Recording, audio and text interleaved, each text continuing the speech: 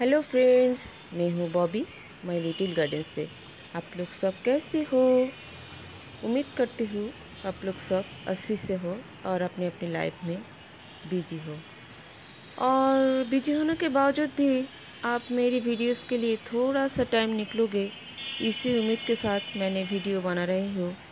तो फ्रेंड्स आज की वीडियो की टॉपिक है, गर्मी का बहुत ही खूबसूरत देखने वाली एक प्लांट जिसको गम्फ्रीना कहते हैं, और इसको ग्लोब एमरंथ भी कहते हैं।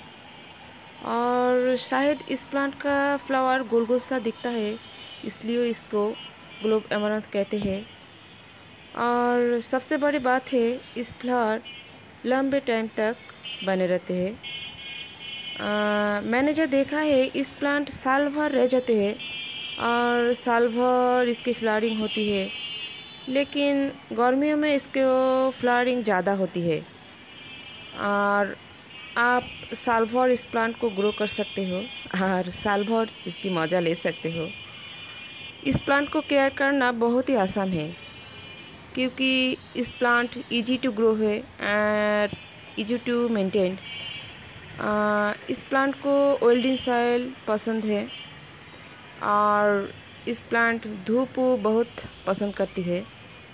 अगर इस प्लांट दिन में चार पाँच घंटा धूप पाए तो अस्सी से फ्लावरिंग होती है इस प्लांट में।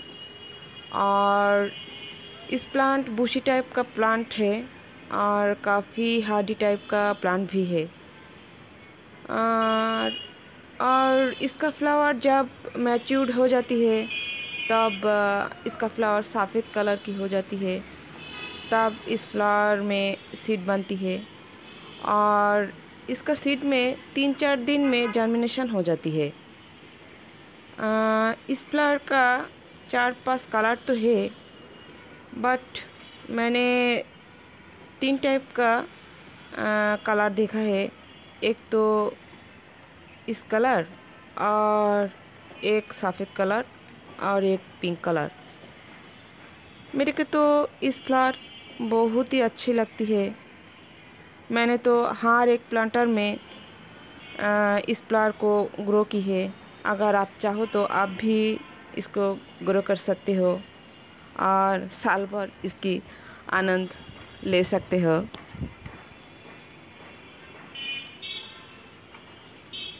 तो फ्रेंड्स इसके बारे में मैं जो भी जानती हूँ, सब तुम्हें बोल डाली हूँ। मेरे पास आज तो कोई जानकारी नहीं है। तो फ्रेंड्स जानती हूँ, आप भी इस प्लांट को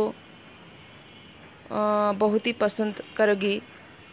और मैंने चाहा आप भी इस प्लांट को ग्रो करो और इसकी मज़ा लो। तो फ्रेंड्स आज के लिए तो इतना ही।